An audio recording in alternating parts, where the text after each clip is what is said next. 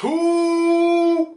What's up, y'all? My name is Juwan, coming back at y'all with another video and today I got another collab for you guys. You guys been asking for it, okay? So me and my guy King Bril, we came together and we're dropping another video for you guys. My boy been going crazy viral on social media from a bet that he lost. Like how does that work? Like that don't even make sense. But yeah, he lost the bet and he had a permit here and it became a huge meme all over social media. On his channel, he has a video actually explaining this more in depth. But today we're showing you guys our wash day routine. We have different routines, so make sure you watch both videos to see which one you like the best. If you're coming from King Bril's video, make sure you go ahead and hit that subscribe button. We both actually make very similar content that I know you guys are going to enjoy. But anyways, let's go ahead and get started with the video. Let's get it. Okay, so where do we go to wash our hair? Right. So I hop in the shower and soak my hair in the water for like five minutes. You know, just let the water get all in the crevices of my hair shaft. Then I go in with the head and shoulder shampoo and make sure I really focus on my scalp. The head and shoulder shampoo is to relieve any dandruff or itchiness from my scalp. And pro tip, just keep your eyes closed when using this, alright? I was in such immense amount of pain when recording this because I had to keep opening my eyes to change the camera angles so y'all can get a better look at things. I'm pretty sure you're saying to yourself, dang Juwan, if only I could repay you for the misery you had to endure. Oh, you can. Leave a like on this video and you know that I'll do a little something. Then I use the Shea Moisture Strengthen and Restore shampoo. Yes, I shampoo my hair twice. Oh my gosh, so crazy. I have low porosity hair, so my hair is very prone to buildup. The first shampoo I use breaks up the dirt off my scalp. The second shampoo rinses and gets the dirt off my hair. The Head and Shoulder shampoo is very strong and stripping to the hair. That's why I use the Shea Moisture shampoo afterwards because it's a light moisturizing non-stripping shampoo that complements the head and shoulders very well. When I'm finished, I wrap my hair in a t-shirt and get out the shower to condition my hair. Once I get to my room, I take off the t-shirt and start separating my hair in four sections. Each section is gonna have three to four twists. I take one piece and spray it with water, then I start conditioning my hair. I'm using the VO5 conditioner.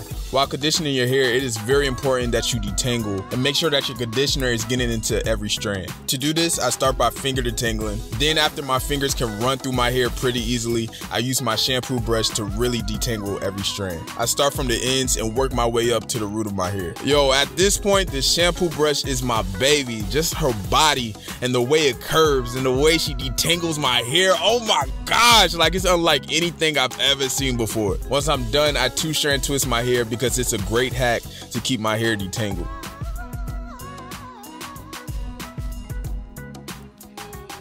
I've noticed when I condition my hair like this, I get way less hair breakage and I use less product. And you don't have to follow everything I do. You know, as YouTubers, we do more than the average when it comes to this type of stuff. You can take bits and pieces and make it your own. That's why I highly encourage that you go watch King Bril's video after this one to find other techniques to implement to your wash day routine. But you can definitely do bigger sections with less twists. You can use different products, different detangling tools. If you have really short hair, you can shampoo and condition all in the shower and just finger detangle. Once I'm done, I rinse out the conditioner while the twists are still in.